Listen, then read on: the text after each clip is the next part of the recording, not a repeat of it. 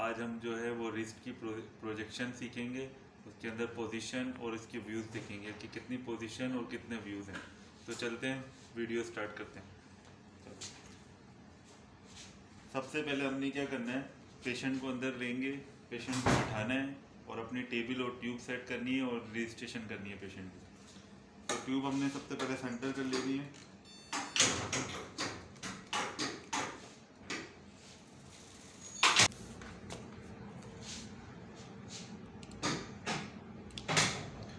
अभी हम ये रिस्ट का पीए कर रहे हैं, ठीक है? सेंटरिंग जो है, इसके अंदर मिड कार्पल्स पर रखते हैं, ठीक है? और पीए के अंदर हम इंक्लूड करेंगे मेटा कार्पल्स मेटा कार्पल्स तक और जो है ये अपना स्टाइलेट प्रोसेस दोनों इंक्लूड करने हैं रिस्ट ज्वाइंट भी आना चाहिए पूरा। और डिजिटल पार्ट आएगा इसका ये हो गया रिस्ट का पीए व्यू ठीक है? उसके बाद हम करेंगे लेटरल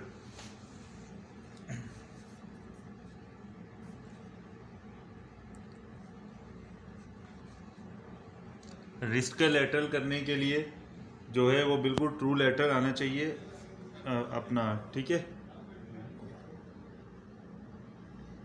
और रेडियस और अन्ना एक दूसरे के पर सुपर इम्पोज होनी चाहिए, ठीक है?